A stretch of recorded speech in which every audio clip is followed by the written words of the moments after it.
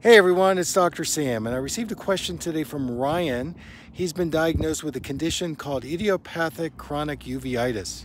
This is basically an inflammation on the inner lining of the eye. It's a very serious condition, and here is my advice. So in treating this condition, I use a two-prong approach. The first is systemically heal the gut. Inflammation in the gut has an effect on the eyes. And if you heal the gut, you're improving your immune health and dietary absorption. I would start with a high quality probiotics. I would increase your fats and oils, especially the omega-3 fatty acids. Now, the second strategy is to treat the eye. So I like to use natural eye drops. I would consider the 5% MSM eye drops. I would also consider using a castor oil eye massage on the eyelids in the evening.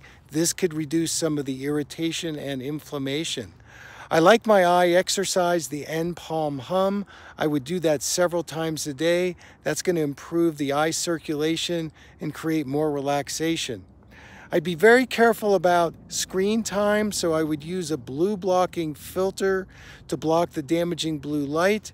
I would make sure to get enough natural light every day, at least 30 to 60 minutes. And the key is treating this both systemically and topically on the eyes. And you've got to be persistent at it and be willing to make lifestyle changes to change the uveitis. So I wish you the best. Thanks so much for the question.